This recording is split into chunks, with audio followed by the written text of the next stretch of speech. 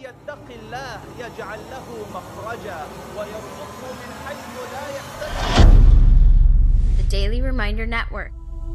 Whoever has taqwa of Allah, whoever becomes Allah conscious, I will make his situation easy for him. You have family problems, Allah says, I will make it easy. You're going through a divorce, Allah says, I will make it easy. You're having a court problem, Allah says, I will make it easy.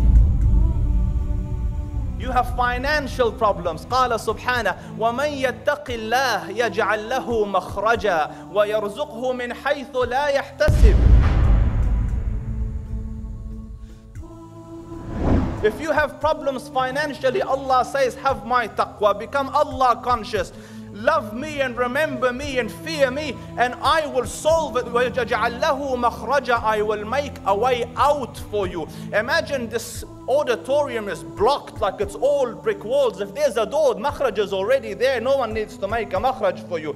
But if there is a door, all, everything is blocked. Allah Rabbul Izzah says, I will tear a way out for you. يَجْعَلْ لَهُ مَخْرَجًا وَيَرْزُقْهُ مِنْ حَيْثُ لَا يَحْتَسِبْ And I will provide for you from means you didn't anticipate. One of the beautiful stories that I mention over and over again, there was a person in the past, his name was Hatim al-Asam, and he came to his family wanting to go to Hajj.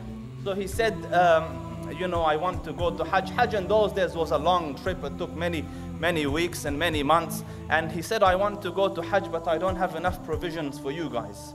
So what do you say? So the wife said, no, khalas, do it some other times when you have the means. But the, the daughter, the daughter was special. So she said, Dad, Inna Allah huwa al-razzaq zul quwwatil mateen. Go, Allah will provide for us. So the dad took heart from this and went. And when he went, a little while later, a couple of weeks later, the provisions ran out. So the mom and the rest of the siblings, like you big mouth, huh? What, what happened?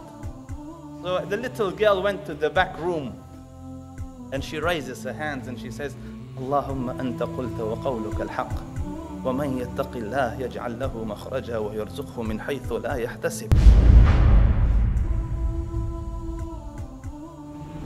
Whoever has Allah consciousness, you will find a way out and you will provide from means unanticipated. And her hand is in the dua and the door knocks.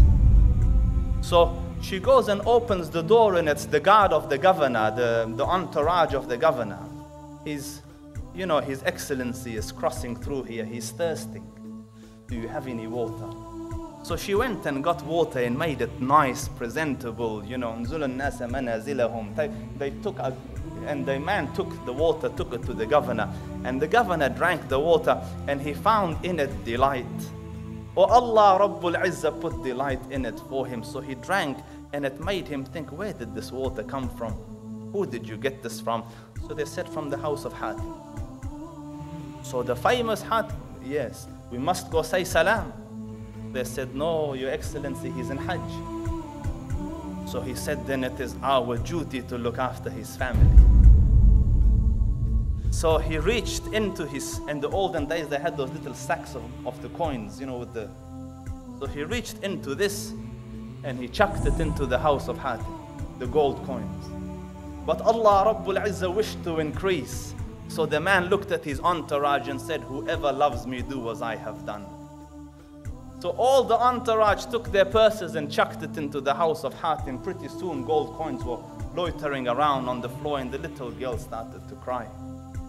The mom said, Woe be unto you. We were poor and dying. You are happy. Now money has come. You're crying. So she said, Allah, for an instant, a, human looked at us with, with mercy and look at what had happened. Imagine if the Dhul Arsh al Majid and Fa'alul lima yurid were to look at us with an eye of mercy. What would happen? Donate now. The Daily Reminder Network.